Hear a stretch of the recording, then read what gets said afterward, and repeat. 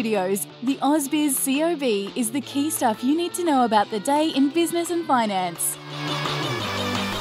Welcome to the COB. I'm Danielle Ecuyer. And I'm Juliette Saly. And Danny, what a run up in markets in the last couple of hours or so. You and I are just trying to talk about what that could have been. I mean, we did have that weak PMI data from China. Is it speculation the authorities are going to step in yeah. and prop up these markets again? Absolutely. So the ASX 200 and the SIBO 200 uh, took off like proverbial Christmas crackers. That's Ooh. how I would like to phrase it. And there we can see on the chart 1 p.m. Just a, a little bit delayed, but around around of sort of that circa uh, 12 to 1 p.m. The uh, CIBO 200 saw quite a lot of buying interest and it looks like it's closing up just over half a percent or around 7.4 points in the ASX 200.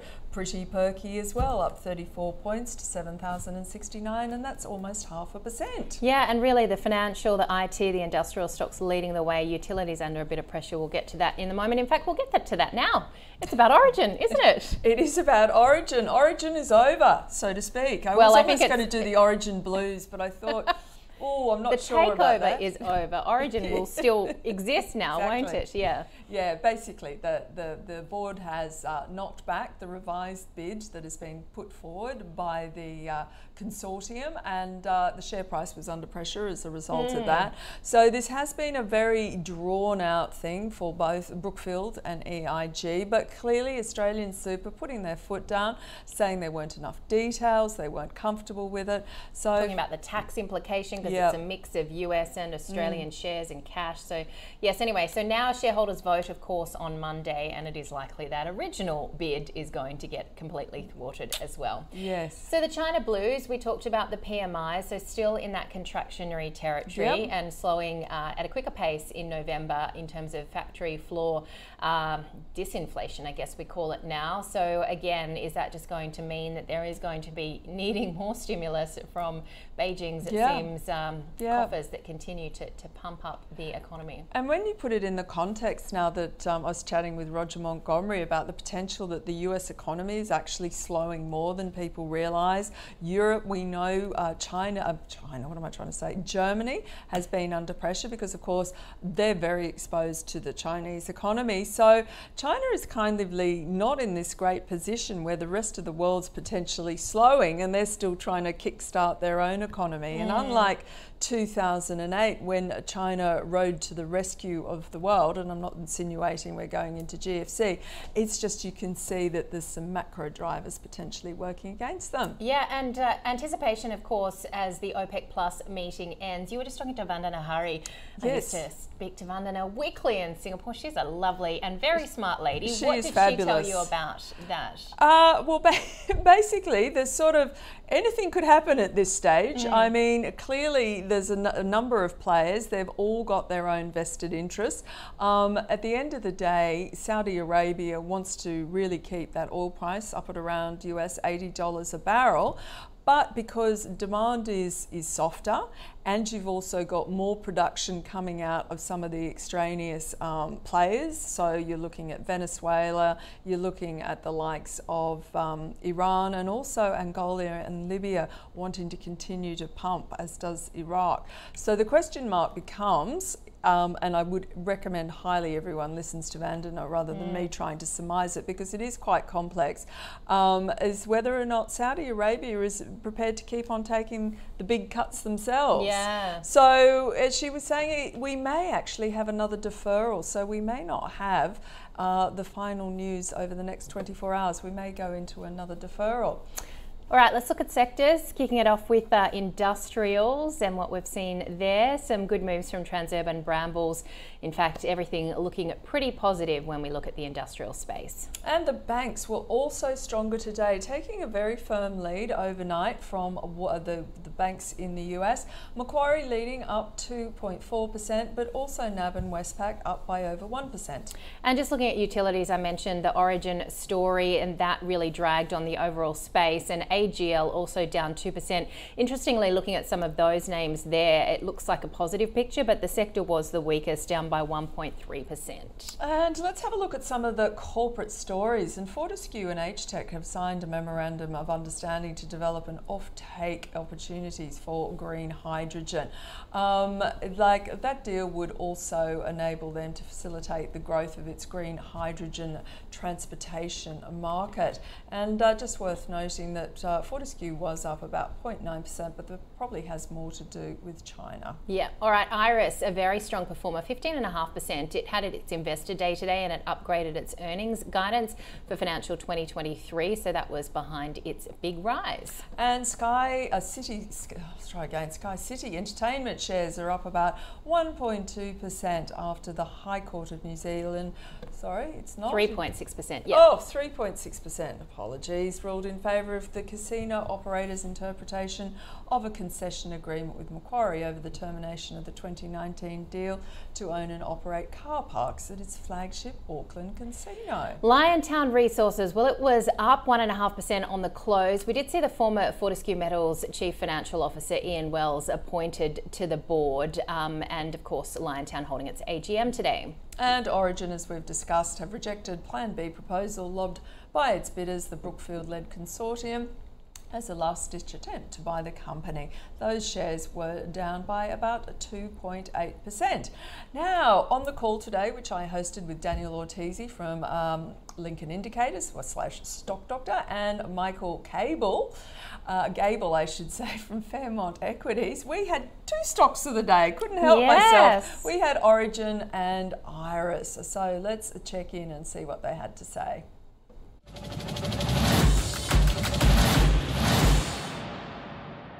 Been watching it quite closely. If you're in the stock, um, you know, at this point, you're, you're probably still happy to hold. Um, but I, I, think there's a really great opportunity for people to watch this one and see what happens if the if the takeover doesn't go through. Yeah, I'm generally not interested in a business like like Origin, so I haven't been following and I don't have clients in it. But I think if you were sort of interested in seeing it through, I think at this point it would be a hold. Um, I wouldn't be buying it either. I just you know don't understand it to the yeah, yeah to the finite detail.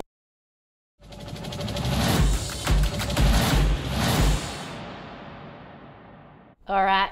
Well, of course, the second stock of the day, Iress. Yes, Iress, of course, because that one was rallying about 15%. So let's check in and see what they had to say on that one.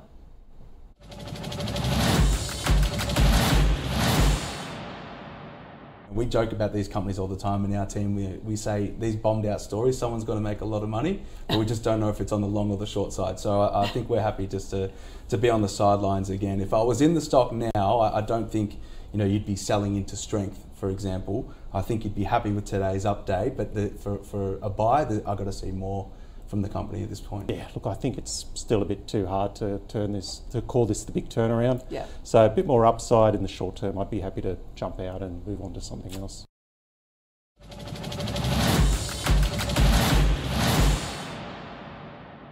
Well, welcome to the COB, David Scutt from City Index. Always good to see you, Scotty. What was your thinking behind the late afternoon rally we saw? I know you're a China watcher. Was it that or was it something else? Because a lot of the heavy lifting also done by the banks today.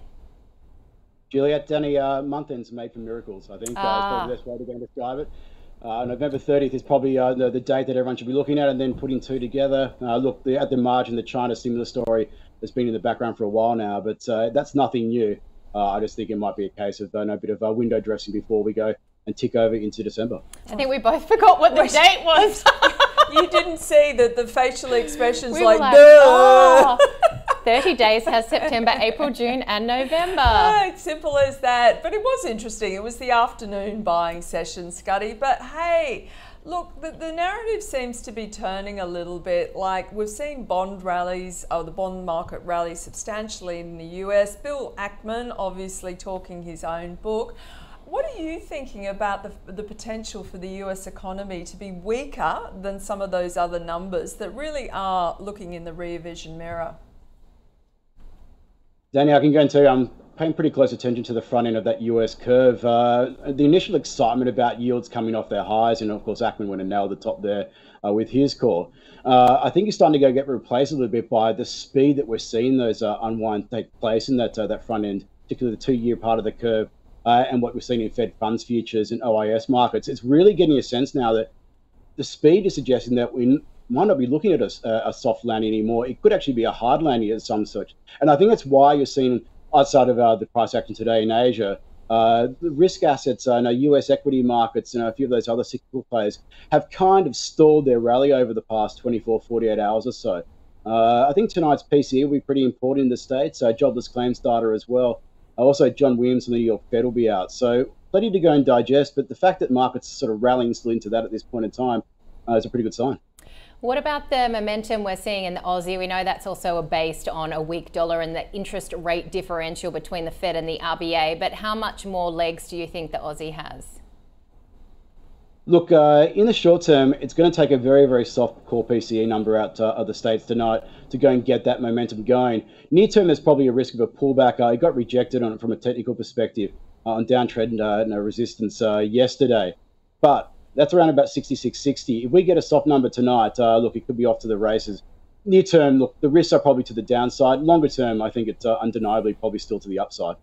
Uh, Scotty, we did have that lower than expected uh, October inflation read that came out uh, yesterday. Markets, though, are pricing, well, not really pricing an RBA hike next week. I mean, there's always a, a possibility of a hike, but do you think that would be very out of character at this stage? Uh, given what's going on globally, uh, what the talk is from other central banks, uh, I think there is zero chance. The markets have got that pretty much priced in as well. I don't think any economist out there is predicting a hike as well. Let's go and uh, see what uh, we're looking at early next year. We'll get a much better indication as to whether this soft landing, hard landing scenario is taking place, and that will probably determine. But I'm not surprised to go and see the RBA still keeping quite a hawkish rhetoric. We saw that yesterday from the RBNZ as well. Uh, from a, a, fundamental perspective, uh, our economies are still performing fairly well. And we came out of this pandemic uh, in a lockdown era later than the rest of the world. So that's something to consider as well. Strong population growth is another factor. Uh, so I'm, not surprised to go and see that that risk of the potential uh, hike coming through the other pipeline again early next year is still in play. What are you reading into the momentum in gold at the moment? I read one uh, article, or I should say, call from a broker at Fundstrat that you could get to 2,500, which seems like he might be making a name for himself, but certainly gold has been on quite a bit of a run.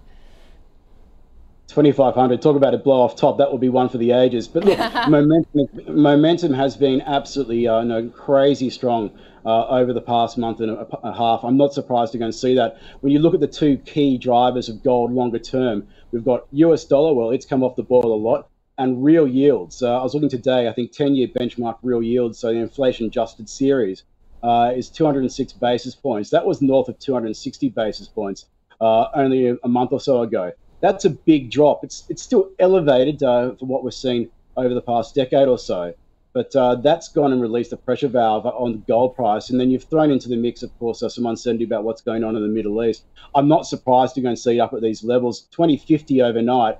Uh, look, that's not far off from the record highs. And look, again tonight, uh, that PCE deflator comes out in the states. If it's soft, well, uh, we could be talking about record highs tomorrow. At what point, Scotty, is all this potentially uh, good news about, you know, inflationary pressures ebbing away going to turn into the proverbial, oh dear, hmm. they've overdone it, as you said, hard landing, and earnings suddenly will be under the microscope and potentially revised down? Look, uh, jobless claims data out tonight will be an interesting one. I'm expecting like an absolute volatile number in, one direction. We saw last week trying to go and seasonally adjust around this time is very difficult with a Thanksgiving holiday. But if we see another back-to-back, you know, big increase in claims coming through, I think that's going to get a few people scared about the potential that we might go and see the US labour market starting to go and crack. We know that job advertisers are coming off the boil. We know that hiring is slowing. All the things you'd expect to see late cycle uh, at some point, I assume you'd imagine if we keep this uh, this momentum up, well, there's likely to go and be a, a rise in unemployment uh, and also uh, potentially some job shedding taking place. A quick one on Santa. Um, has he come? Is he coming? A few more weeks. Has he lost his reindeers? Is he ask in Adelaide? me in 24 hours time. Yeah, ask me in 24 hours time after we get this uh, PCE deflator and Jerome Powell speaks uh, uh, tomorrow evening our time. That will go and uh, get a, a, lot of indication as to what we're looking at at the moment. The momentum is certainly there at this point in time. I think it's now up to the data to go and show that the growth is, is holding up. Not so much that inflation is coming. That's pretty much in the price right now. Okay, Scuddy. So when I'm looking at my Twitter feed bright and early tomorrow morning, if I see Santa in his sleigh, I'll know what you're thinking. That's a good one. I'll, I'll, be dressed up. I'll be dressed up for you. Fantastic. That was David Scutt joining us from City Index. Let's have a quick look at the after close leaders and Scuddy pointing out that we'd forgotten what date it was, the 30th of November. Like the, the, worst rookie error ever. Oops. Both of us. What? What's happening? Iress up 15.5%. Uh, Telix Pharmaceuticals up 4.5%. Harvey Norman also up 4.5%. Fletcher Building and Reliance Worldwide with gains of around 4%. And let's check some of the laggards today and see what was their call. Lithium lithium down by almost 6%. Interesting. Discuss Paladin Energy today on the call. Check it out online, down about 3.5%. Goodman Group, I was fishing around to see why that was off 2.3%, but just generally the REITs were off today. Origin Energy we've discussed, and also AGL coming under some selling pressure. And just looking at the small end of town in terms of the leaders, Byron Energy there, a gain of more than 14%.